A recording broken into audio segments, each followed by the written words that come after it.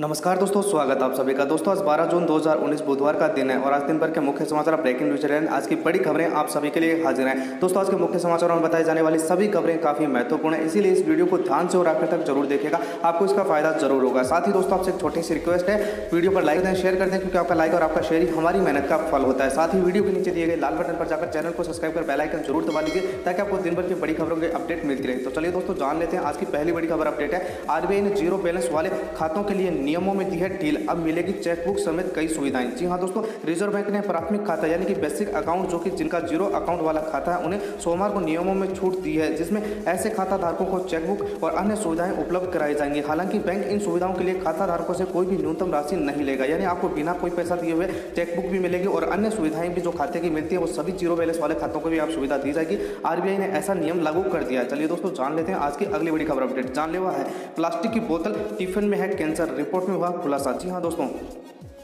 Plastic का इस्तेमाल हमारी ज़िंदगी में इतना बढ़ गया है कि भूख मिटाने के लिए परोसे गए गर्मा गर्म खाने को लेकर थकान मिटाने वाले ठंडे ठंडे पानी और चाय की चुस्कियों तक हम न जाने कितनी बार प्लास्टिक के बर्तनों का इस्तेमाल करते हैं। तथा ऑफ़िस में खाना गर्म हो या फिर आउटिंग पर खाना ले जाना हो, किसी न किसी रूप में प्लास्टिक हमारे साथ रहता ही है। लेकिन क्या आप जानते हैं कि यही प्लास्टिक हमारे शरीर में धीरे धीरे खुल रहा है और खाने के हर निवाले और पानी की हर घूट के साथ ही जहर हमारे शरीर के अंदर पहुँच रहा है। यहाँ तक कि सांस के ज़रिए भी अब प्लास्टिक के बारीक कण हमारे शरीर में अपनी जगह बना रहे हैं, जो कि आपकी बीमारी और बहुत बीमारी के लिए काफ़ी होता है। जी हाँ दोस्तों, प्लास्टिक के कणों से हमें काफ़ी तरह की बीमारियाँ जो है वो उत्पन्न हो रही हैं तो आप भी हो सके उतना इस प्लास्टिक से बचने की कोशिश कीजिएगा। ऐसा एक रिपोर्ट में हाल ही में खुलासा हुआ है तो आप भी प्लास्टिक के इस्तेमाल होने वाले बर्तनों से बचने की थोड़ी सी कोशिश ज़रूर कीजिएगा। चलिए दोस्तों, जान लेते हैं आज की अगली बड़ी खबर अपडेट। खूनी हिंसा से फिर लाल हुआ है बंगाल, दीदी कब छोड़ेगी अपनी सियासी हट? जी हाँ दोस्तों।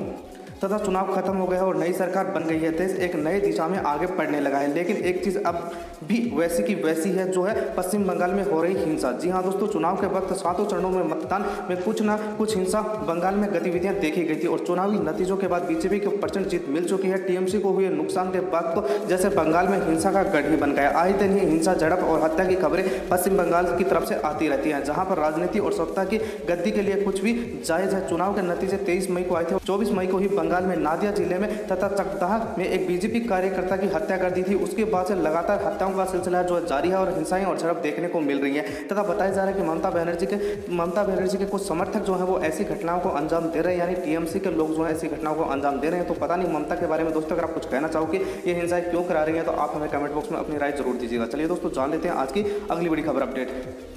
छह रैम वाला सबसे सस्ता फ़ोन भारत में हुआ, लॉन्च चार कैमरे भी मिलेंगे। जी हाँ दोस्तों भारत में स्मार्टफ़ोन का बाज़ार काफ़ी तेज़ी से आगे बढ़ रहा है और इस बाज़ार में चीन के स्मार्टफ़ोन निर्माता कंपनियाँ भी हिस्सेदार बनती जा रही हैं और कुछ दिन पहले ही चीन की कंपनी इन्फ्लिक्स ने सबसे सस्ता तीन रियर कैमरे वाला smartphone Infinix Smart three Plus launch किया था और वहीं अब कंपनी ने भारत में सबसे सस्ता छह जीबी रैम वाला smartphone Infinix Hot seven Pro launch कर दिया है। आइए जानते हैं इस फ़ोन के बारे में। जी हाँ दोस्तों, भारत में इन्फ्लिक्स सेवन प्रो की कीमत नौ हज़ार नौ सौ निन्यानवे रुपये रखी गई है और इस कीमत में आपको छः जी बी रैम के साथ ही चौंसठ जी बी स्टोरेज भी मिलती है और साथ ही इस फ़ोन में आपको चार कैमरों के साथ काफ़ी सस्ता फ़ोन है और काफ़ी अच्छी सुविधाएँ, काफ़ी अच्छे इसमें जो है फीचर जो है आपको मिल रहे हैं तो काफ़ी शानदार फ़ोन है। अगर आप इसे लेना चाहो तो ज़रूर आपको ऑनलाइन किसी भी साइट पर मिल जाएगा। चलिए दोस्तों जान लेते हैं आज की अगली बड़ी खबर अपडेट आई का तथा अलर्ट है, चौबीस घंटों में यहाँ होगी बारिश। राजस्थान से दिल्ली तक छाएगा धूल का गुब्बारा जी हाँ दोस्तों, भीषण गर्मी और दक्षिण भारत में बारिश और मौसम पर हर पल करवट। एक तरफ़ जहाँ भारी बारिश होने की आशंका है तो वहीं दूसरी ओर गर्म हवाएँ लोगों को थपेट रही हैं। मौसम विभाग ने 11 जून को फिर अलर्ट जारी किया और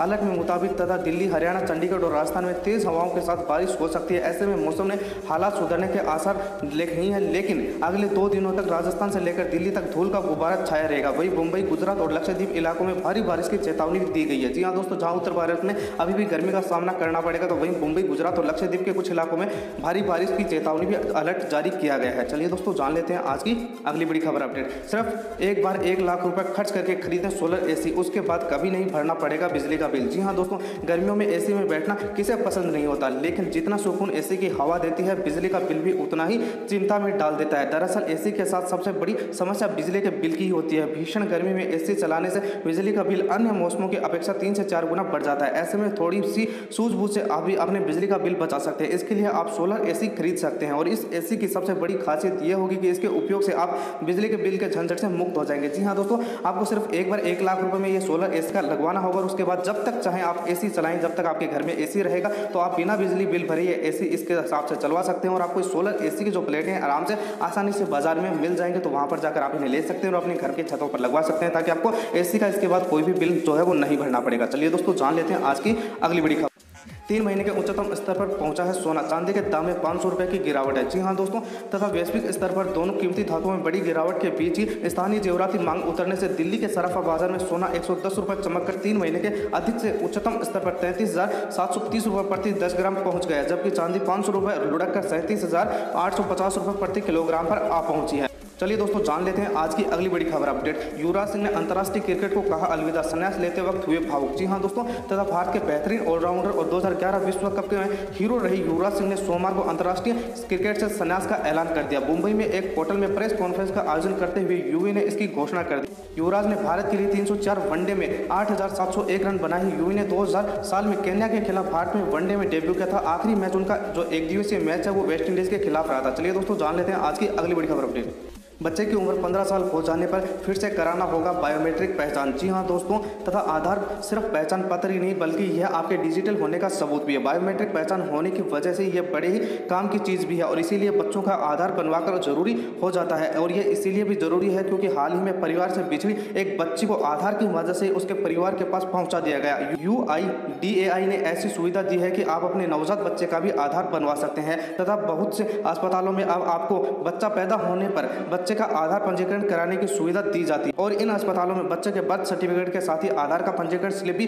पेरेंट्स को देना शुरू कर दिया गया है। जब बच्चा पंद्रह साल का हो जाएगा तो आपको फिर से उसका बायोमेट्रिक पहचान पत्र दर्ज करवाना होगा। पाँच साल से कम उम्र के बच्चों का भी आधार नंबर जारी किया जा सकता है और इस तरह के मामलों में बच्चों का बायोमेट्रिक दर्ज नहीं किया जाता। यानी आप अपने बच्चे का जन्म से ही आधार कार्ड बनवा सकते हैं, लेकिन उसका बायोमेट्रिक दर्ज आपको पंद्रह साल का होने के बाद ही आप करा सकते हैं। तो आप पंद्रह साल का जब बच्चा हो जाए तो बायोमेट्रिक उसका ज़रूर दर्ज करवाइए, क्योंकि आधार कार्ड जो है, भारत में रहने के लिए नागरिकों को काफ़ी महत्वपूर्ण एक डॉक्यूमेंट माना जाता है। चलिए दोस्तों, जान लेते हैं आज की अगली बड़ी खबर अपडेट पबजी लाइट जल्दी होगा, भारत में लॉन्च कम रैम वाले पीसी के लिए होगा तोहफा। जी हाँ दोस्तों, यदि आपको भी इस बात का मलाल है कि आपके कंप्यूटर में कम रैम और स्टोरेज की वजह से आप पबजी गेम नहीं खेल पाते हैं तो आपके लिए अच्छी खबर है। कंपनी जल्दी पबजी लाइट गेम ला रही है और यह ठीक उसी तरह का रैम वाली डिवाइस होगी जो कि आपको फेसबुक लाइट और यूट्यूब लाइट मिलती है। उसी तरह का प्रकार से आपको पबजी लाइट में मिलेगा और पबजी लाइट की बीटा टेस्टिंग इस साल की जनवरी से ही शुरू हो गई थी। लेकिन अब कंपनी जल्दी इसे सभी के लिए भारत में लॉन्च करने वाली है। इसकी जानकारी पबजी लाइट के फेसबुक पेज से मिली है। हालाँकि तारीख का खुलासा अभी नहीं हुआ, लेकिन पबजी लाइट को भारत समेत कुल पंद्रह देशों में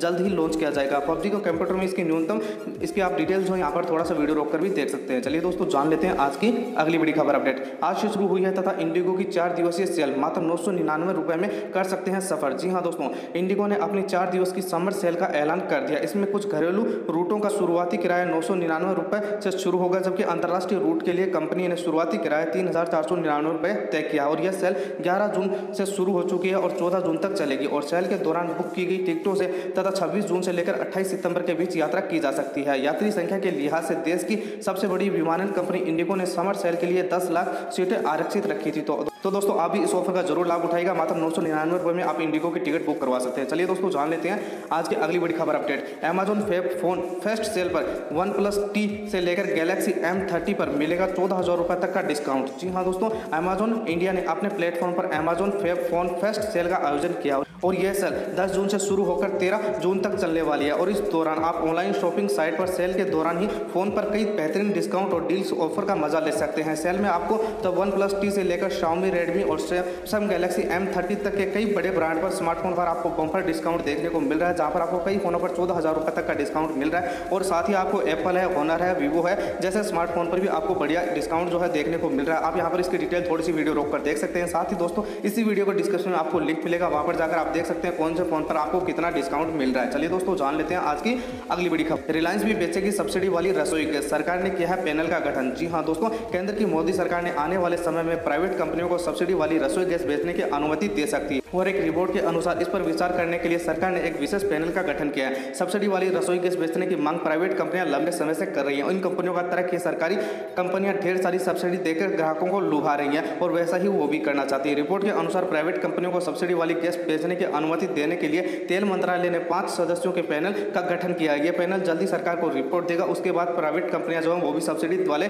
गैस सिलेंडर देना शुरू कर देंगे। चलिए दोस्तों, जान लेते हैं आज की अगली बड़ी खबर अपडेट। सीएम योगी का तोहफा, अब यूपी में बुज़ुर्गों को मिलेंगे पाँच सौ प्रतिमा वर्थ पेंशन। जी हाँ दोस्तों, उत्तर प्रदेश के सीएम योगी आदित्यनाथ ने उत्तर प्रदेश के बुज़ुर्ग नागरिकों को बढ़ी हुई पेंशन का ऐलान कर दिया है। सीएम योगी की अध्यक्षता में हुई कैबिनेट बैठक में छह प्रस्तावों को मंजूरी दी गई। इसमें से एक बुज़ुर्ग नागरिकों की वृद्धावस्था में पेंशन को चार सौ से बढ़ाकर पाँच सौ प्रतिमाह करना कर दिया गया है। राज्य सरकार के इस फैसले से राज्य के करीब चालीस लाख बुज़ुर्ग नागरिकों को फ़ायदा मिलेगा। वर्तमान में साठ से लेकर सेवेंटी वर्ष की आयु तक वर्ध लोगों को चार सौ जबकि इससे अधिक उम्र के लोगों को पाँच सौ मिलते हैं। लेकिन अब साठ से ऊपर के सभी लोगों को पाँच सौ सरकार देने जा रही है, जो कि उत्तर प्रदेश के वर्ग नागरिकों के लिए काफ़ी अच्छी खुशखबरी की बात है। तो दोस्तों, ये थी आज की दिन भर के मुख्य समाचार, ब्रेकिंग न्यूज़ हेडलाइन, बड़ी खबरें। अगर आपको दी गई जानकारी अच्छी लगी हो तो वीडियो पर लाइक ज़रूर कीजिएगा, अपने दोस्तों के साथ शेयर कीजिएगा। वही वीडियो के नीचे दिए गए लाल बटन पर जाकर चैनल को जो सब्सक्राइब कर, बेल आइकन को भी दबा लीजिए ताकि आपको दिन भर की बड़ी खबरों के अपडेट मिलती रहे। जय हिंद, धन्यवाद।